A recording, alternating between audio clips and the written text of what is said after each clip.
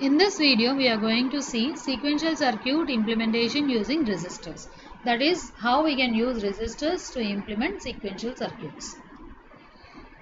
Here, we can see that registers are used in place of flip-flops in the design of sequential circuits. This is the one where we have used the flip-flops and this is the block diagram which shows the registers are being used in the case of design process.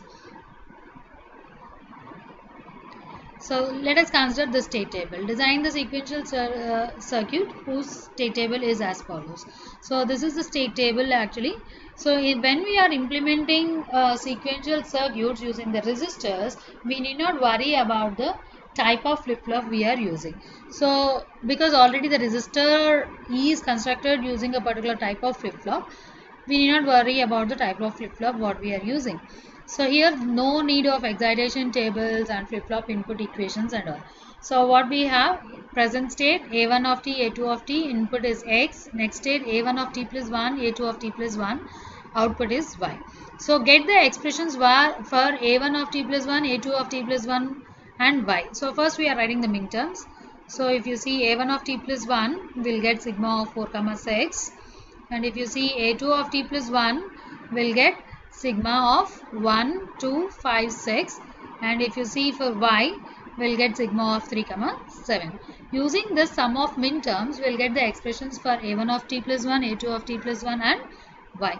So the expressions goes like this and then you can use k-maps for getting these expressions and now using these expressions we are going to draw the circuit. So if you see here the circuit diagram a1 of t plus 1 is equal to a1 x bar. Here this is a1. So we will take a1 and x bar. So using NOT gate x bar. So this is connected to the a1 again. That is the feedback. So this is the uh, given as next state uh, 1. a2 of t plus 1 equal to a2 x bar plus a2 bar x. I am using XOR gate for construction of this that is a2 XOR x. So A2 is connected directly here and X is directly connected here and giving to connection to A2. And Y is A2X. So A2 is taken from here and X is taken from here and this is Y. So sequential logic implementation using registers is very simple when compared to the sequential logic circuit implementation using flip-flops.